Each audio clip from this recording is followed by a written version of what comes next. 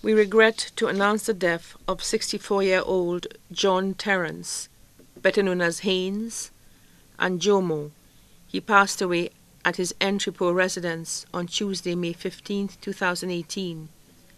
Left to mourn his brothers, Paul Henry of England, Cyril Terrance, Boniface Terrance, his sisters, Eileen Emmanuel, Shirley, Pamela Wilson of England, Emily Terrance of Barbados, Felicia Jules, his son, Mitcham Louis of Cicero.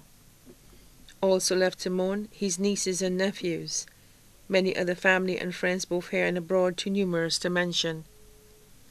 The funeral service of the late John Terrance will be held at the Sacred Heart Church, Masha, on Wednesday, 30th May 2018 at 10 a.m.